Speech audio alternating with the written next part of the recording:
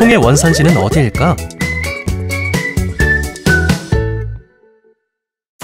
과거에 사람들에게 관심을 받지 못했던 콩은 20세기 들어 웰빙 시대의 슈퍼푸드로 선정되면서 세계 최고의 신데렐라 작물로 부상하게 되었습니다. 21세기에도 여전히 주목받는 밀레니엄 식품인 콩. 이런 콩의 원산지는 다름 아닌 한반도가 포함된 동아시아라는 거 알고 계셨나요? 식물학에서 작물의 발상지는 야생종의 분포 유무, 변이종의 다양성을 통해 추정합니다. 콩의 경우에는 한반도 곳곳에서 가장 많은 콩의 변이종이 발견되어 한반도, 구체적으로는 옛 고구려 땅이었던 만주가 콩의 원산지임이 증명된 바가 있습니다. 콩에는 대두, 검은콩, 강낭콩, 완두콩 등의 다양한 종류의 콩들이 존재합니다. 그중 우리나라의 콩을 몇 가지 소개해 보자면 장단콩은 파주의 장단 지역에서 재배되는 콩으로 순수 국내 토종 재래종으로 품질이 우수하고 맛이 뛰어나 명품 콩으로 알려져 있습니다. 선비자비 콩은 간장, 된장은 물론 두부나 콩밥으로 활용되고 있는 다목적 콩으로 특히 콩밥으로 했을 때의 맛이 좋아 유명합니다. 경북 영천과 경주 지방에서 재배되는 보악다리 콩은 콩나물로 키울 경우 다른 콩에 비해 부패율이 낮으며 맛이 좋고 장으로도 사용할 수 있어 활용도가 높습니다.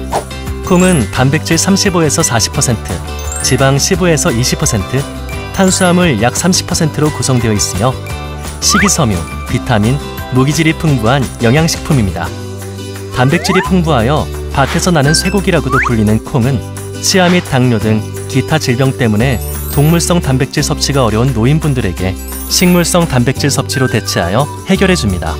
한반도와 오래된 관계를 가진 콩은 현재로 넘어와서도 다양하게 활용하여 사용하기도 합니다.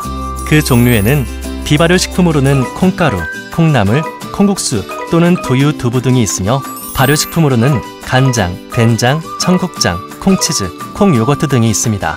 외국에서도 인도네시아의 템페, 이집트의 후무스, 브라질의 페이조아다, 중국의 두반장, 일본의 나또, 중동의 팔라펠 등 세계적으로도 콩은 다양한 요리로 활용되고 있습니다. 전 세계적으로 건강식이 트렌드로 떠오르며 비건 시장이 점차 확대되고 있습니다. 그래서 육류를 대체해 단백질을 보충할 수 있는 콩이 가장 주목받고 있습니다. 콩 식품 산업 분야가 확대되면서 콩을 활용할 수 있는 스펙트럼도 넓어졌습니다. 방송 프로그램에서 콩비지로 만든 콩 곱창 레시피가 유행하기도 하였고 콩 디저트 전문점이 SNS의 hot place가 되기도 하였습니다.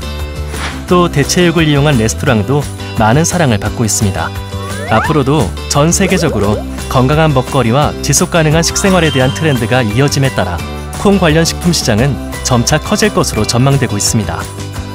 여러분들도 오늘 하루는 콩을 이용한 요리로 맛과 건강 둘 다 챙겨보시는 건 어떨까요?